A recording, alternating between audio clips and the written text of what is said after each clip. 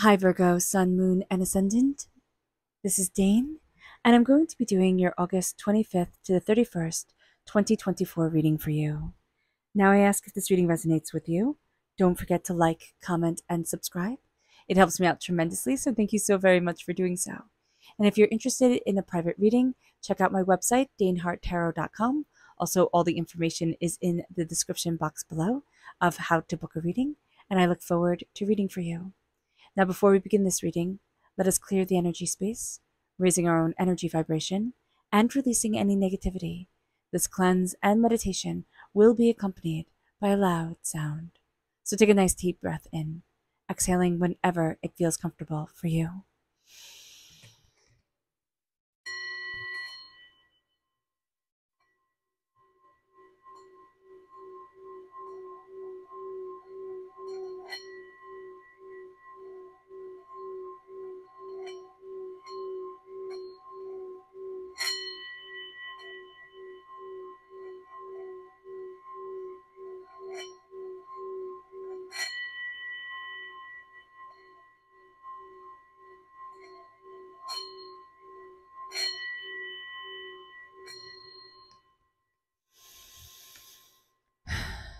Releasing all negativity from the body like storm clouds, letting yourself feel calm, centered, and at peace as we enter into the safe and loving space.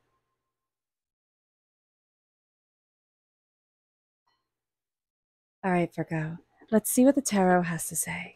Angels and spirit guides show me clearly. Guide this reading and show me clearly, angels.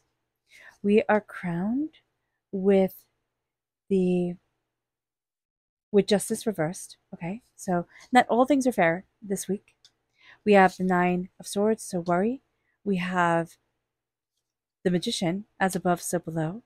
We have the knight, uh, not the knight, the page of swords, angels, and spirit guides show me clearly. Now we have the knight of pentacles, that's us coming through. We're represented by the pentacles in the minor arcana, we have Temperance, which is Sagittarius energy. The uh, Justice card is Libra energy, angels, and spirit guides.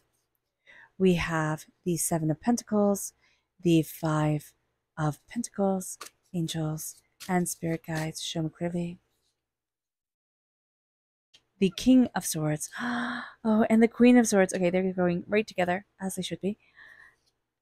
The Five of Swords, and the Queen of Cups. Okay, awesome, awesome, awesome, awesome.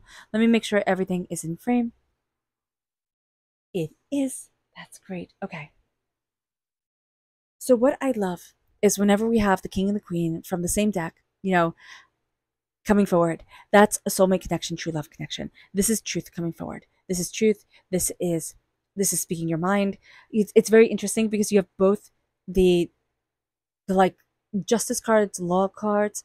Okay, justice is reverse, so might mean that things necessarily aren't necessarily going exactly your way. You don't feel like everything is in balance. This could also be like a loss of a court case or things being postponed or, you know, kind of like people being sneaky and you're like is there ever even going to be justice so being aware of that is going to be important here but then we have temperance coming into play which is like the truth comes forward and then you have the king and the queen of swords so the truth comes forward but there's also a fierceness to you okay if you're looking for somebody like romantically speaking you are going to find somebody who just has a way with words okay not they're not liars okay because you're really not into lying, but they have a way with words. They have this beautiful, you know, connection with language. So being aware of that, this beautiful way of telling stories, that's going to be a really, I see that as just stunning. It's just going to be stunning.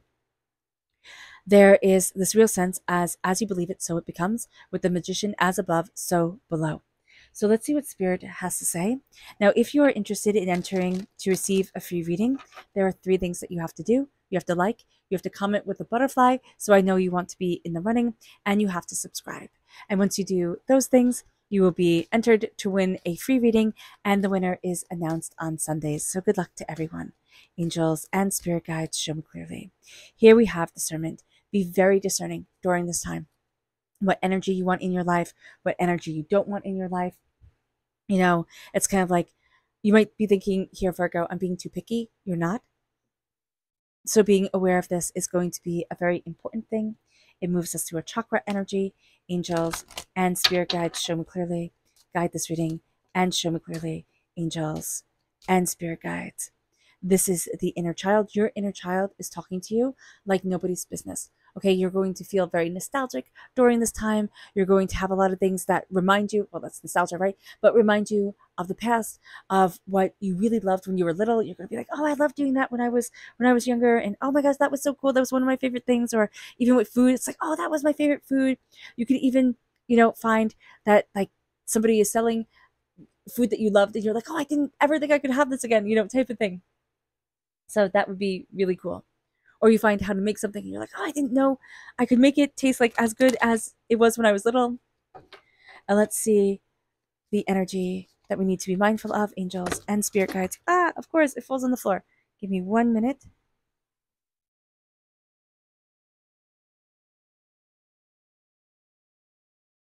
This is the Queen of Pentacles.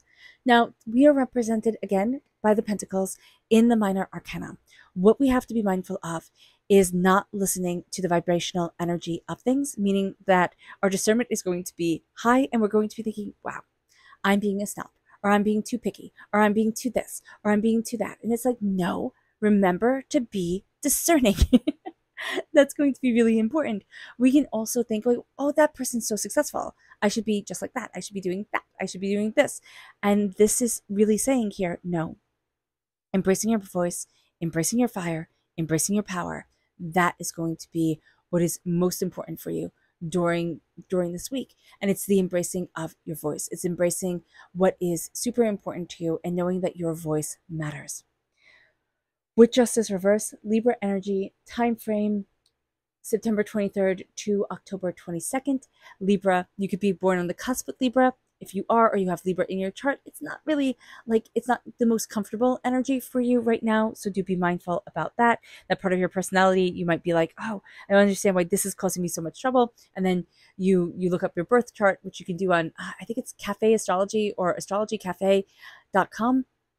And you can see where your where Libra falls in your chart, if you know it falls in your chart, and then you'll be like, oh, that makes all the sense in the world. So just being aware of that, that's going to be an important thing not everything is going to be balanced and we're not going to be balanced. We're going to feel very much like i'm searching for something more. I, am seeking out things.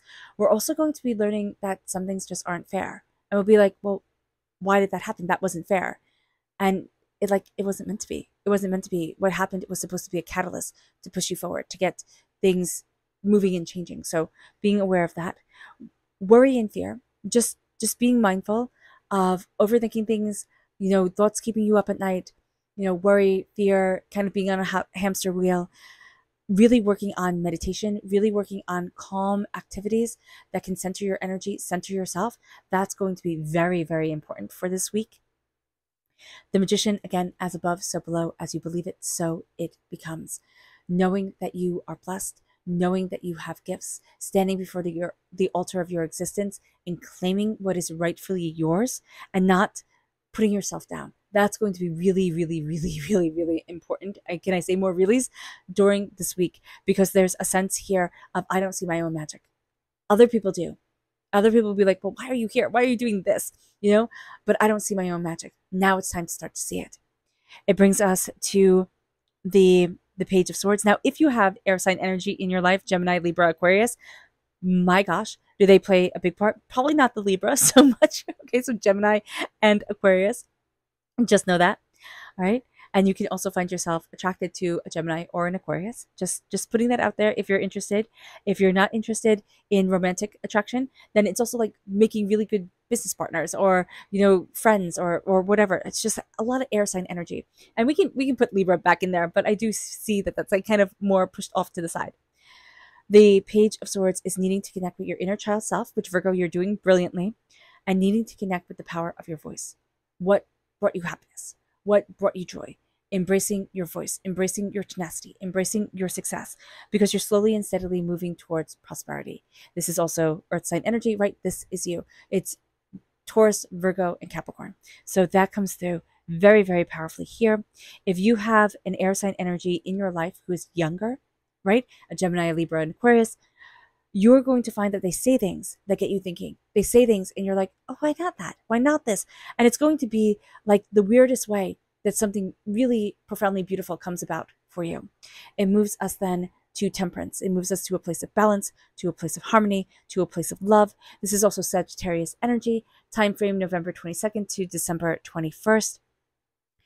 And it brings us patience. Like as we're finding this balance within ourselves, it builds a patience. And as it builds a patience, we're looking at the the five of pentacles. And the five of pentacles is a sense of i'm not worthy. And yet you then have the king and the queen of swords which is like are you kidding me? You cannot be a swordsman. You cannot be good with the sword if you do not practice.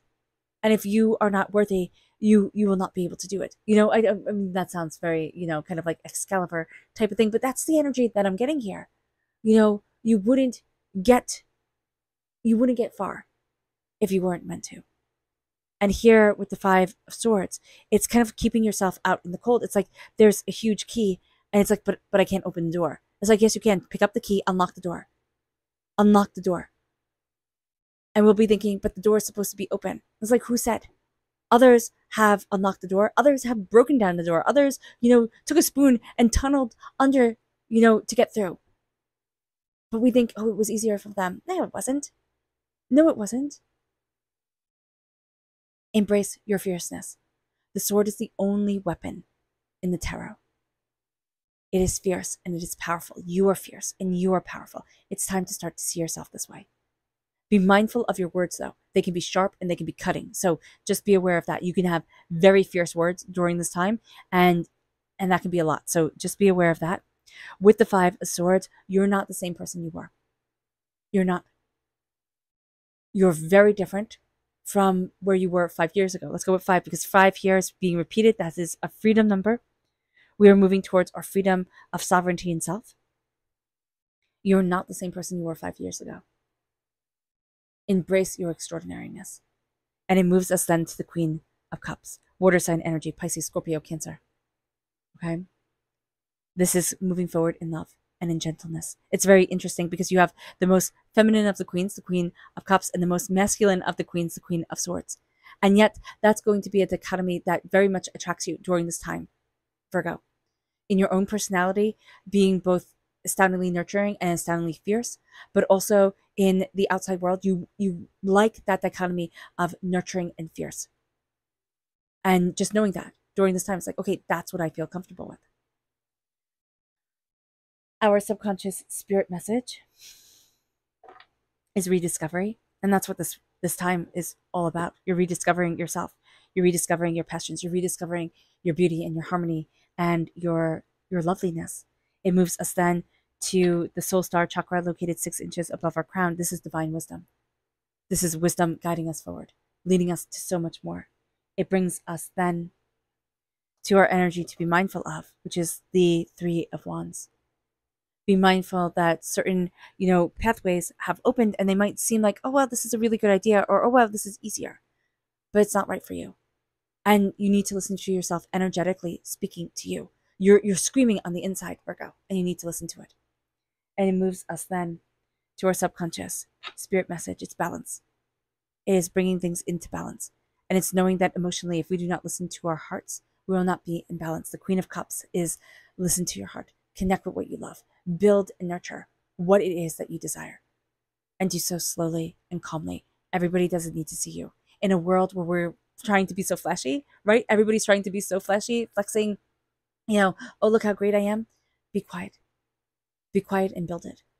Be quiet and be dedicated. You will be shocked, Virgo, at the places you go to, at what you succeed.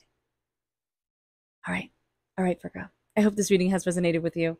I wish you nothing but light, love, peace, and happiness. May harmony always be with you. I am sending loving, healing energy to each and every one of you. I love you all and stay safe. Let's end this reading with a meditation, a clearing away of negative energy, a raising of our positive energy as we embrace the power, intensity, and beauty of this time and of ourselves. And please note that this meditation and healing will be accompanied by a loud sound. So take a nice deep breath in, exhaling whenever it feels comfortable for you.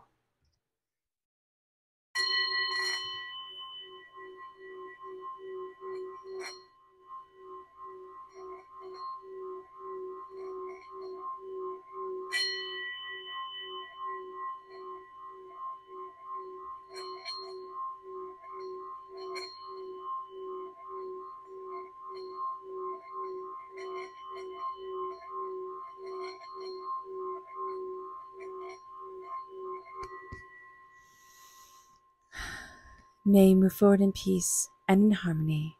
Virgo, may blessings and prosperity always be with you. I love you all. God bless.